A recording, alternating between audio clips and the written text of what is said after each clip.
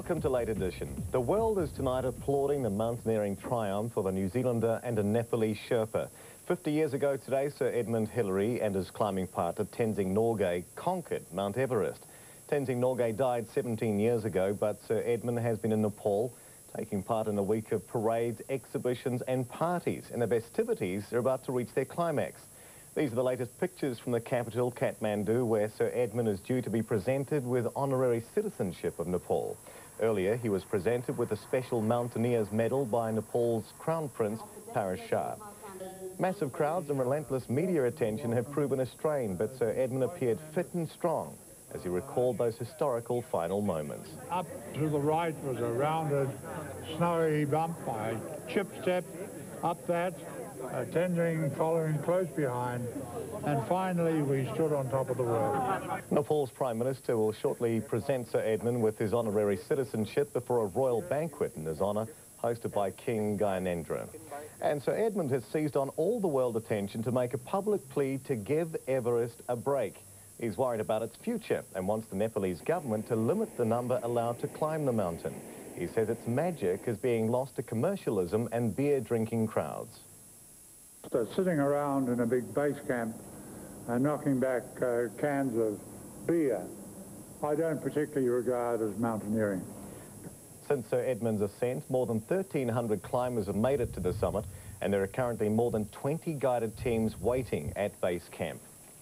It's been announced tonight that the New Zealand government is to boost its contribution to Sir Edmund's Himalayan Trust. It'll jump from about $40,000 to $290,000 a year. The new funding will be used for ongoing health and education initiatives in Nepal. Events marking the Everest anniversary have been held all over New Zealand today. In the North Island, a new portrait of Sir Edmund was unveiled in the Auckland War Memorial Museum. The painting by Australian artist Lewis Miller was commissioned by the Auckland City Council as a commemorative gift, and it'll hang alongside a portrait created 50 years ago. That, you know, you see this very big man in a very small portrait. Um, you get a sense of this huge life. Other New Zealanders found their own Everest to conquer. The Prime Minister found hers on top of Mount Maunganui in Tauranga. And celebrations in the south had special significance for the family who ensured Sir Edmund had a warm night's sleep all the way to the top of Everest. In 1953, Murray Ellis's father gave him a goose down sleeping bag, helping to make the Ellis name and their Fairy Down brand world famous. Ed was a uh, special sleeping bag, and even Ed uh, acknowledges that it was, did him, uh, kept him warm. Across the South Island, dozens of events celebrated Sir Edmund. Mountain peaks sprang up on the pavement in Christchurch. Timaru's Piazza served as a makeshift summit, and in Dunedin they braved the rain in honour of the Everest conqueror. But one other New Zealand commemoration is causing concern tonight. There's still no word from a climbing party trying to scale Aorangi or rather Aorangi Mount Cook, to mark the Everest anniversary. The four climbers are thought to be trapped in bad weather, and there's been no contact with them since they set out yesterday. Lisa Simpson reports. Aorangi Mount Cook, a mountain of great beauty, but today the weather turned ugly on Ed Hillary's old stomping ground. A climb to the summit was planned to mark the anniversary, but tonight DOC staff are still waiting to hear from the four experienced climbers a lot of them out and they can't, they couldn't contact us if they, they wanted.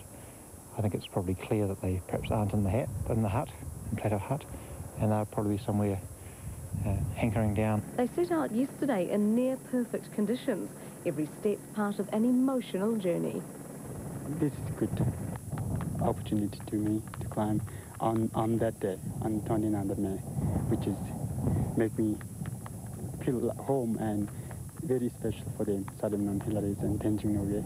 They carry a special charm, $5 notes, some autographed.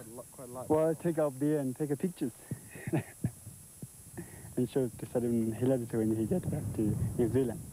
The arrival of Sir Edmund Hillary's statue at Mount Cook Village today, perhaps a good omen for his fellow climbers, weathering the conditions near the top and they may be stuck near the top until the weekend, as rescuers predict the rough weather won't improve until then. Lisa Simpson, One News.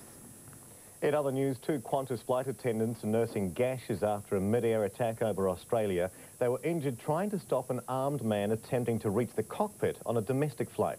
Officials say the attack seems to have been premeditated. but they don't believe it's linked to terrorism. More from the ABC.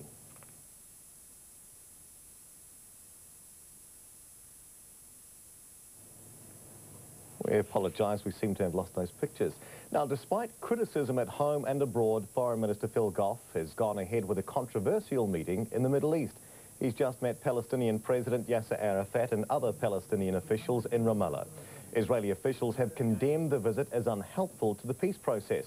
They want foreign governments to deal instead with Mr Arafat's newly chosen Prime Minister Mahmoud Abbas. And opposition MPs in New Zealand have labelled it a diplomatic blunder. Now here's Karen with a look at your Friday weather. What's with this wild and windy weather expected? Where's it all coming from?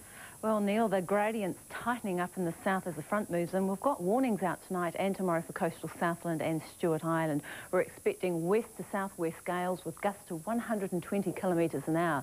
So it'll be quite gusty also in inland areas in the south. We've got rain here in the west easing to showers in the afternoon. Just scattered falls getting over into Southland and Otago. Up to the North Island, cloudy in the north and west with occasional showers mixed in. Fine with high cloud in the east and uh, south, but the westerly will be quite strong and gusty in places, especially northern Wairarapa and southern Hawke's Bay, where gusts could reach 120k at times. So gusty westerly in the south, it'll be gale force in Invercargill with the rain there easing to showers scattered rain clears in Dunedin. Showers and a fresh sou'wester for coasters. Just some high cloud out east, but the westerly will be uh, blustery. Mostly fine from Blenheim to Masterton. This cloud here is just high stuff. Strong gusty nor'wester for Wellington.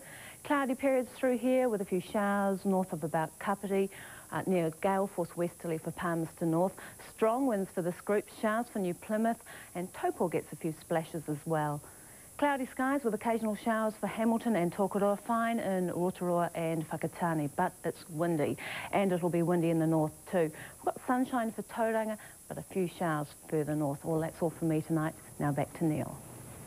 Thanks, Karen. Now returning to our earlier story, two Qantas flight attendants are nursing gashes after a mid-air attack over Australia.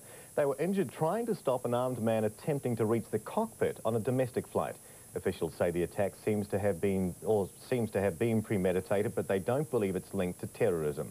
Here's more from the ABC. The two Qantas staff suffered lacerations to the face and head. They'd been working on flight 1737 from Melbourne to Launceston in northern Tasmania when a passenger tried to enter the cockpit, apparently threatening to crash the plane.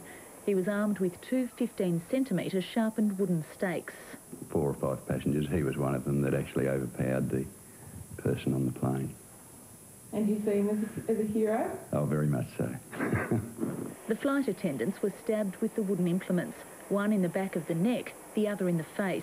The, the steward had a big, a lot of blood on his back, from his neck. Passengers were also injured when they stepped in to help restrain the man in his 40s who'd been sitting in the seventh row. We believe he was trying to take over the plane. That's all I can say at this stage. The plane turned back to Melbourne immediately after the incident, and staff and passengers are now being counselled.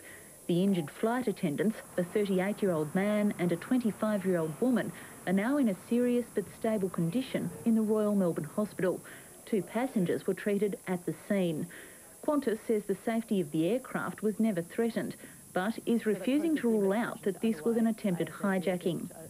I think I'll leave that to the authorities, but obviously it's a very, very serious uh, incident for us. The federal government says it'll wait for further details before reviewing air security. Although it looked as though it was premeditated, it doesn't appear to have been an act of terrorism. A man in his 40s is in police custody tonight. Police say charges will be laid. And that's late edition for this Thursday. Join us again tomorrow night. I'm Neil Walker. Good night.